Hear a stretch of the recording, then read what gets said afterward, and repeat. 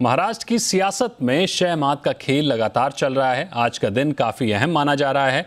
एक तरफ़ उद्धव ठाकरे मंथन के लिए खुद उतर रहे हैं तो दूसरी तरफ़ बीजेपी भी एक्टिव हो गई है।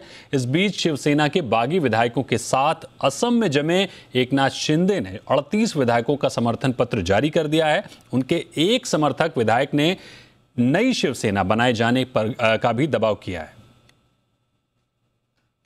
और इस खबर पर हमारे साथ जुड़ रहे हैं अश्विनी पांडे और गुवाहाटी से जुड़ रहे हैं सोमित सेन गुप्ता। तो सबसे पहले हम बात करेंगे अश्विनी पांडे से। अश्विनी, ये बताइए कि जिस तरह से हम देख रहे हैं कि लगातार घटनाक्रम बदलता जा रहा है, लगातार ये जो सियासी ड्रामा है, एक नया मोड़ लेता जा रहा है। महाराष्ट्र में अभी क्या चल रहा है? शिवसेना के खेमे में, उद्धव ठाकरे के खेमे में क्या कुछ चल रहा है? जी देखिए, शिवसेना प्रमुख जो उद्धव ठाकरे हैं, वो शिवसेना भवन पर इस वक्त जो राष्ट्रीय कार्यकारिणी है, उसे संबोधित कर रहे हैं क्योंकि इस वक्त उद्धव ठाकरे और उद्धव ठाकरे की शिवसेना दो मोर्चों पर लड़ रही है। पहला मोर्चा ये है कि सरकार को कैसे बचाया जाए और दूसरा मोर्चा है कि पार्टी को कैसे बचाया जाए। लेकिन सबसे ज़्यादा जो फोकस हम पिछले दो तीन दिनों में देख रहे हैं शिवसेना की, वो है पार्टी को बचाने की। क्योंकि जिस तरह से पार्टी को क्लेम करने को लेकर एक शिंदे ने पत्र लिखा और फिर खुद को ग्रुप लीडर बताने के लिए भी एक पत्र लिखा गया जिसमें सैंतीस विधायकों का साइन था। तो उसी बात को ध्यान में रखते हुए सबसे ज़्यादा ज़रूरी जो है इस वक्त उद्धव ठाकरे की तरफ़ जो वो सोच रहे हैं कि पार्टी को एकजुट किया जा सके, पार्टी नहीं टूटे इसका पूरा संज्ञान ले रहे हैं। लगातार बैठक हो रही है। कल हमने देखा कि पहले विभाग स्तर के कार्यकर्ताओं, नेताओं से बातचीत हुई। देर शाम करीब आठ से नौ बजे के बाद सारे कॉरपोरेटर जो थे उनसे संवाद किया गया। और आज राष्ट्रीय कार्यकारिणी की बैठक है। इसके बाद आज शाम को ही आदित्य ठाकरे बिरला मातोश्री में जो शिवसेना के तमाम कार्यकर्ता हैं, उन्हें संबोधित करेंगे। यानी कि पार्टी कैडर को मज़बूत रखने की पूरी कोशिश की जा रही है क्योंकि हमने देखा थाना में ऐसे कई कॉरपोरेटर सामने आए जो एक नाथ शिंदे के साथ जा रहे हैं। इसके अलावा नवी मुंबई में कुछ कॉरपोरेटर ऐसे हैं जो एक नाथ शिंदे गट में जाने की तैयारी में है। तो ऐसी जो टूट है कॉरपोरेटर स्तर पर ना हो कार्यकर्ता स्तर पर ना हो ये संज्ञान लिया जा रहा है चूँकि सरकारी अगर सरकार बनाने की जहाँ तक बात करें तो यहाँ पर बड़ी संख्या में विधायक टूट चुके हैं। और पार्टी को बचाने की प्राथमिकता फ़िलहाल दी जा रही है उद्धव ठाकरे की तरफ़ से। बिल्कुल, यानी उद्धव ठाकरे की तरफ़ से पार्टी को बचाने की प्राथमिकता जारी है। सोमित के पास चलते हैं। सोमित, एक तरफ़ उद्धव ठाकरे का खेमा और दूसरी तरफ़ एकनाथ शिंदे का खेमा। उद्धव का उद्धव के खेमे के हालात तो आपने सुने, जिस तरह से अश्विनी पांडे ने बताया, लेकिन हम देख रहे हैं कि गुवाहाटी में भी एकनाथ शिंदे बार बार शक्ति प्रदर्शन करते हुए नज़र आ रहे हैं। और क्या कुछ अपडेट आपको मिल रही है?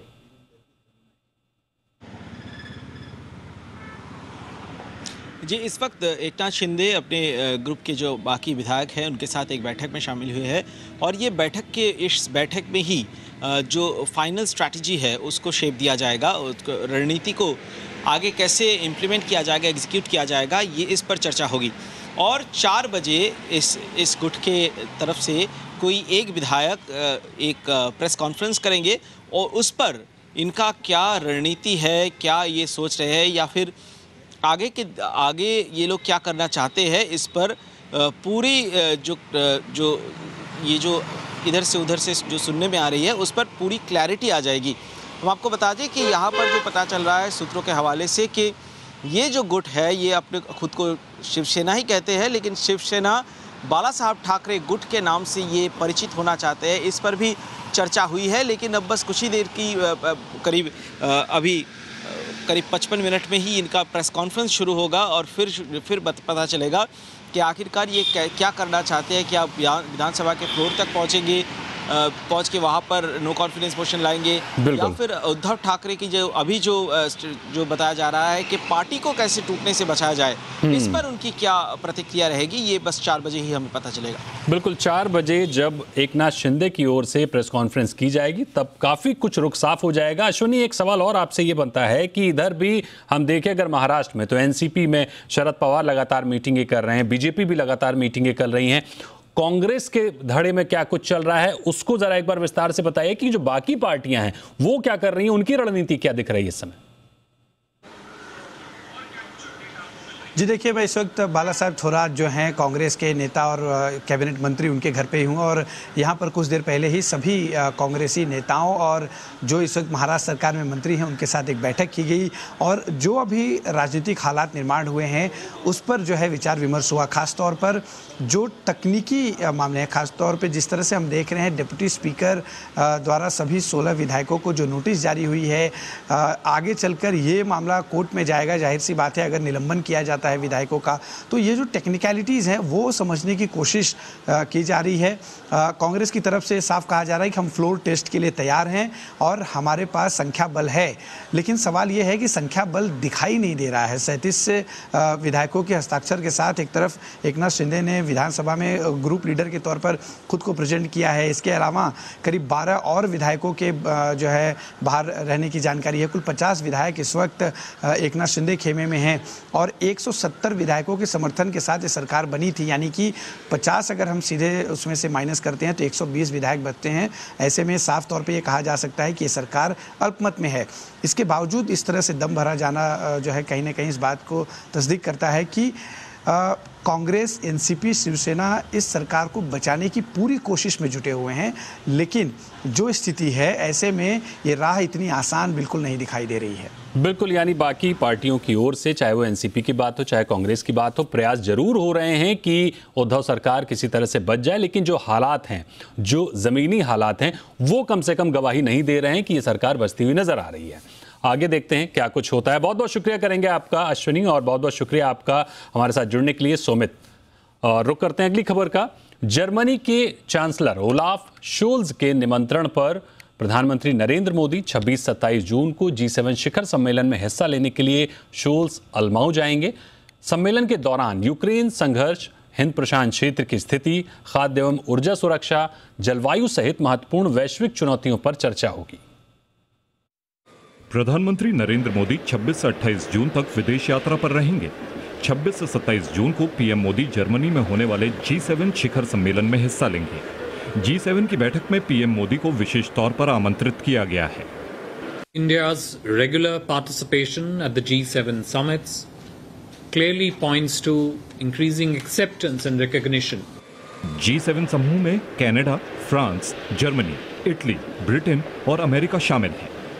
पीएम मोदी 28 जून को यूएई पहुँचेंगे, जहाँ वो यूएई के पूर्व राष्ट्रपति शेख बिन जायद अल नहायन के निधन पर शोक व्यक्त करेंगे। इसके साथ ही पीएम मोदी यूएई के नए राष्ट्रपति शेख मोहम्मद बिन जायद अल नहायन से मुलाकात भी करेंगे। और अब देखते हैं इस हफ़्ते का टेकटॉप टेन।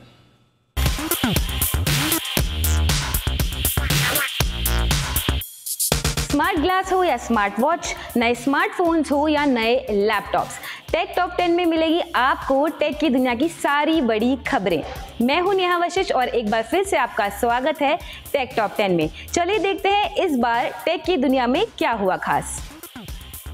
सैमसंग ने किया अपना budget smartphone Galaxy F13 India में launch 6.6 inches FHD plus display और 6000 mAh की बैटरी से लेस इस 4G स्मार्टफ़ोन में है दो वेरिएंट इसमें ट्रिपल रेयर कैमरा सेटअप है, जिसमें प्राइमरी लेंस 50 मेगापिक्सल का है और साथ ही इसमें 8 मेगापिक्सल का फ्रंट कैम भी है। इसमें आपको ऑटो डेटा स्विचिंग फीचर भी मिलेगा।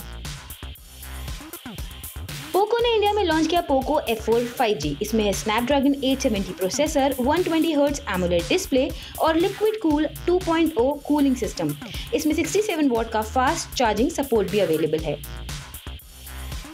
Xiaomi ने लॉन्च किया Mi smart band 7 1.62 inch AMOLED display और 100 वॉच फेसेस से लेस इस स्मार्ट बैंड में है ऑलवेज ऑन डिस्प्ले फीचर और 120 स्पोर्ट्स मोड कंपनी का दावा है कि ये 15 दिन तक चल सकती है। ये फ़िलहाल अभी चाइना में लॉन्च हुई है और जल्द ही इंडिया में भी हो सकती है। अब व्हाट्सएप ग्रुप्स पर बिना एडमिन हुए भी आप कर सकेंगे लोगों को ग्रुप कॉल में म्यूट इस फीचर से जब भी आप किसी को म्यूट करेंगे तो जिसको आप म्यूट करेंगे, उसको नोटिफिकेशन भी जाएगी कि आपने उन्हें म्यूट किया है। ये फीचर एंड्रॉयड और आईओएस दोनों पर अवेलेबल है। अगर आपको लिखने का शौक है तो आपके लिए है खुशखबरी, क्योंकि ट्विटर पर जल्द आएगा नोट्स फीचर ट्विटर इस फीचर पर फ़िलहाल काम कर रहा है। इस फीचर से यूज़र्स को ऑप्शन मिलेगा कि वो लंबे पोस्ट को अपने ट्वीट में एम्बेड कर सकें। Realme ने किया अपना सी सीरीज़ का नया स्मार्टफ़ोन C30 लॉन्च इस बजट फ़ोन में है Unisoc T six one two processor 8 megapixel rear AI camera और 5000 mAh की massive battery Realme India CEO Madhav Sheth के मुताबिक C30 टेक्नोलॉजी और डिज़ाइन का अल्टीमेट ब्लेंड है और काफ़ी अफोर्डेबल भी है. एसिस ने इंडिया में लॉन्च किया अपना detachable two in one gaming tablet Asus R O G flow G thirteen इसमें यूज़र्स को मिलेंगे दो touch panel option 4K 60 hertz और F H D one twenty hertz और इसका प्राइस है one lakh thirty six thousand nine hundred and ninety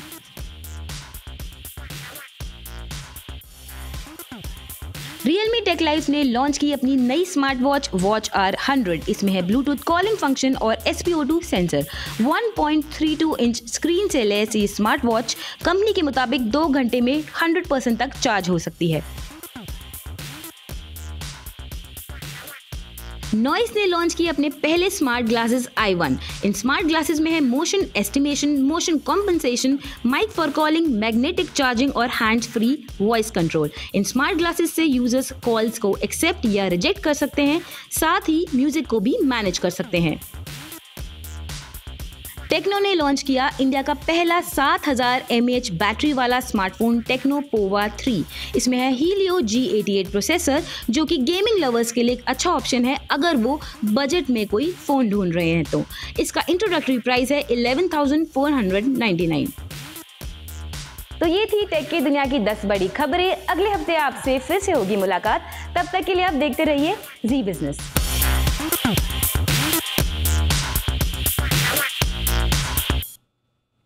देश में हर साल दो लाख लोगों की किडनी खराब हो जाती है, मगर सिर्फ़ दस हज़ार को ही ऑर्गन डोनेट के ज़रिए किडनी मिल पाती है।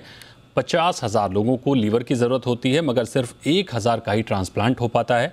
इसकी वजह अंगदान को लेकर कठिन सरकारी प्रक्रिया भी है, मगर अब महाराष्ट्र में ऑर्गन डोनेशन यानी अंगदान की प्रक्रिया आसान हो गई है। ऑर्गन डोनेट करने के लिए अब तीन सरकारी अस्पतालों में खास सुविधा दी गई है।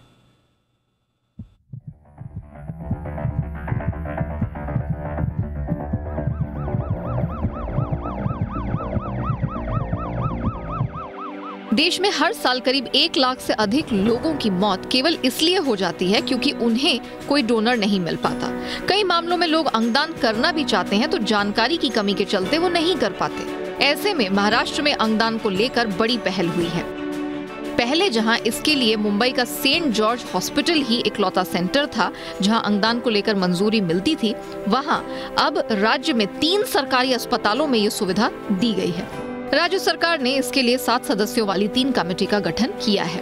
इसकी मदद से जेजे हॉस्पिटल बाइकला, परेल के के हॉस्पिटल और बीजे मेडिकल कॉलेज पुणे में अंगदान को लेकर आवेदन किया जा सकता है। एक आंकड़े के मुताबिक, भारत में हर साल ट्रांसप्लांट के लिए करीब दो लाख किडनी पचास हज़ार हार्ट और पचास हज़ार लीवर की ज़रूरत होती है। लेकिन दस हज़ार किडनी और एक हज़ार लीवर ही ट्रांसप्लांट के लिए उपलब्ध हो पाते हैं, जो कि देश की आबादी के लिहाज से बेहद ही कम है। दरअसल देश में हर आठ मिनट में दुर्घटना से एक मौत होती है। ऐसी मौत में अक्सर ब्रेन डेड हो जाता है। ऐसी डेड बॉडी से दो आँखें, दो किडनी, एक लीवर, दो फेफड़े, एक हार्ट, एक पैंक्रिया और एक आंत दान की जा सकती है। इससे कम से कम आठ से दस लोगों की ऑर्गन ट्रांसप्लांट की जरूरतों को पूरा किया जा सकता है। अंगदान दो तरह के होते हैं, एक तो मरने के बाद और दूसरा जीवित रहते हुए। कोई जीवित व्यक्ति अपनी एक किडनी, एक फेफड़ा, लीवर का कुछ अंश पैंक्रियाज या आंत का कुछ हिस्सा दान कर सकता है। लेकिन अंगों के खरीद फरोख्त का कोई कारोबार ना हो, इसके लिए बड़े कानूनी नियम हैं। कोई व्यक्ति अपने माता पिता भाई बहन पति पत्नी बच्चे ग्रैंड पेरेंट्स ग्रैंड चिल्ड्रन को आसानी से अपने अंग डोनेट कर सकते हैं, बशर्ते मेडिकली फिट हों। लेकिन दूर के रिश्तेदार, दोस्त और अनजान लोगों को अगर मानवीय आधार पर कोई अंग डोनेट करना हो तो इसके लिए कड़े कानूनी नियमों से गुजरना पड़ता है। जिसे कैंसर डायबिटीज़ जैसी घातक बीमारी नहीं है वह व्यक्ति अंगदान कर सकता है। कैंसर और एचआईवी से पीड़ित व्यक्ति सेप्सिस या इंट्रावीनस दवाओं का इस्तेमाल करने वाले अंगदान नहीं कर सकते। ग्लोबल लेवल पर देखें तो भारत में अंगदान का चलन बेहद कम है। फ्रांस में जहाँ हर 10 लाख की आबादी पर 50 लोग अंगदान करते हैं तो क्रोएशिया में यह आंकड़ा 35 और अमेरिका में 37 का है, लेकिन भारत में यह आंकड़ा महज आधे के आसपास है। अंगदान के लिए आवेदन करना बेहद आसान है। इसके लिए www.organindia.org पर अप्लाई करना होता है। रजिस्ट्रेशन होते ही संस्थान की ओर से यूनिक नंबर के साथ एक डोनर कार्ड भेजा जाता है। कार्ड की फॉर्मेलिटीज पूरी करने के बाद donor national organ and tissue transplant organisation यानी एन में रजिस्टर्ड हो जाता है। यानी डोनर के अंग उसके मरने के बाद भी उसकी मौजूदगी का एहसास कराते हैं। ब्यूरो रिपोर्ट जी मीडिया रूस यूक्रेन युद्ध का आज 122वां दिन है। रूस के बम लगातार यूक्रेन के शहरों को तबाह कर रहे हैं। खारकीव हो या दोनेक्स रूस के हमले लगातार जारी हैं और पूर्वी यूक्रेन से आ रही कुछ तस्वीरें ये बता रही हैं कि रूस यूक्रेन पर किसी तरह का रहम नहीं दिखाने वाला है।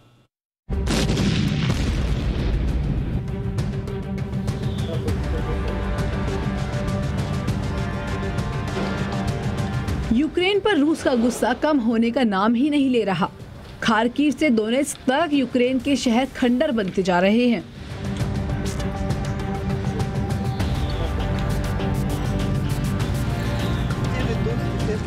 यूक्रेन के दूसरे सबसे बड़े शहर खारकीव का हाल।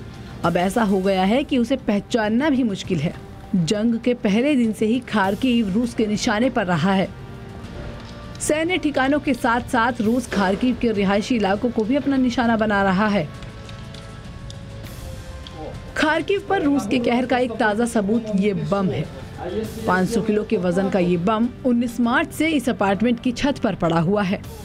आपातकालीन सेवाओं से जुड़ी टीम ने गुरुवार को इसे अपार्टमेंट की छत से हटा दिया। टीम ने बताया कि जिस समय ये बम इस अपार्टमेंट पर गिरा था, अगर इसमें धमाका होता तो ये पूरा ब्लॉक तबाह हो जाता। लेकिन ये बम फटा ही नहीं, और बाद में इसका फ्यूज भी निकाल दिया गया।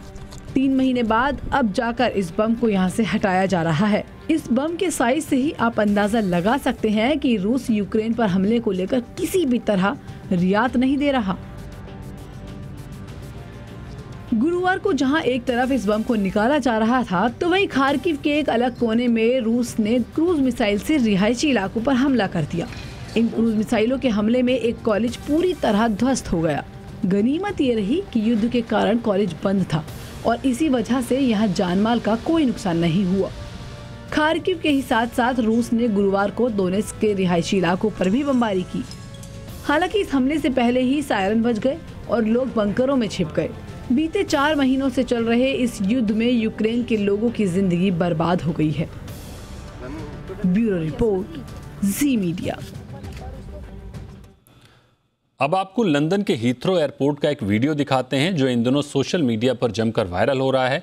ये वीडियो बता रहा है कि ब्रिटेन के एयरपोर्ट कर्मचारियों की कमी से जूझ रहे हैं, लेकिन कहानी सिर्फ़ ब्रिटेन के एयरपोर्ट की नहीं है, बल्कि यूरोप के कई एयरपोर्ट में ऐसा ही है।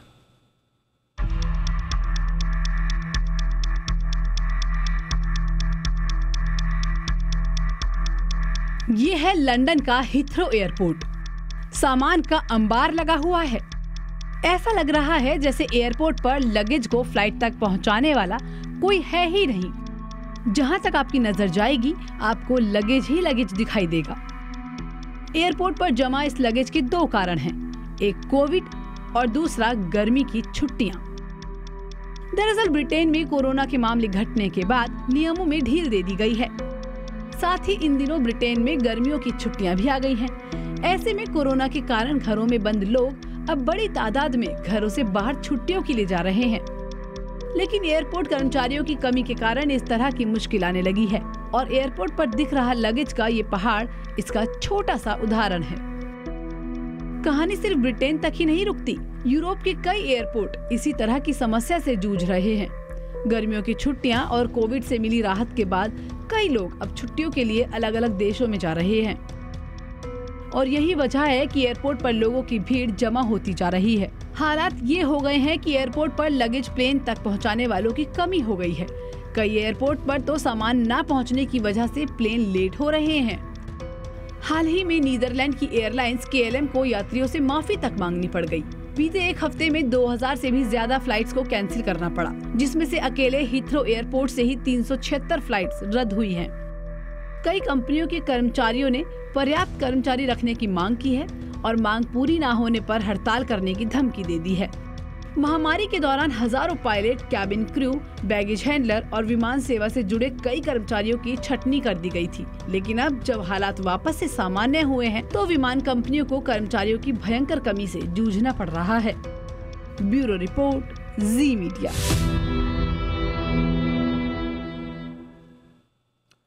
News live में फ़िलहाल यहीं रुकते हैं, लेकिन खबरें लगातार जारी हैं। आप बने रहिए जी बिज़नेस पर